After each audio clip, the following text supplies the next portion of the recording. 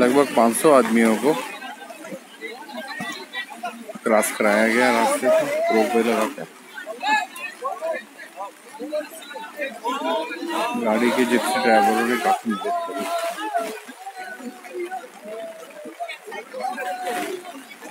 Thank you.